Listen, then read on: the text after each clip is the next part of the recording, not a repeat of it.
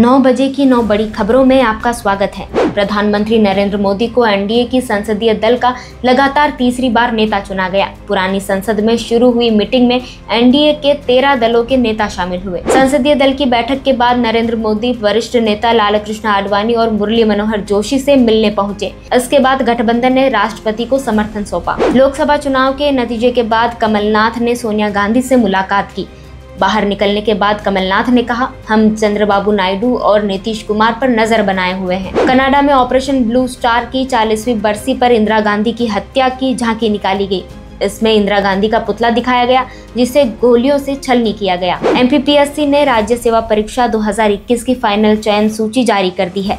Final नतीजों में top ten में से सात लड़कियाँ हैं। मौसम विभाग ने आज उत्तर प्रदेश, पूर्वी मध्य प्रदेश और झारखंड के अलग अलग हिस्सों में हीट वेव चलने का अनुमान जताया है। वहीं राजस्थान में धूल भरी आंधी चलने का अलर्ट है। रतलाम में जुआ खेलते हुए एसपी की टीम ने 25 लोगों को पकड़ा। इनके पास से तेरह लाख उन्यासी हज़ार सौ रूपए जब्त किए गए। रतलाम में मौसम ने करवट ली है। चिलचिलाती गर्मी के बीच जमाजम बारिश से लोगों को गर्मी से राहत मिली है। धार भोजशाला सर्वे का आज सतहत्तरवा दिन था। सर्वे करने के लिए 12 अधिकारी और 36 मजदूर सुबह 8 बजे भोजशाला पहुँचे थे। आज की खबरों में इतना ही। देखते रहिए, पढ़ते रहिए और सुनते रहिए नेशन मिरर।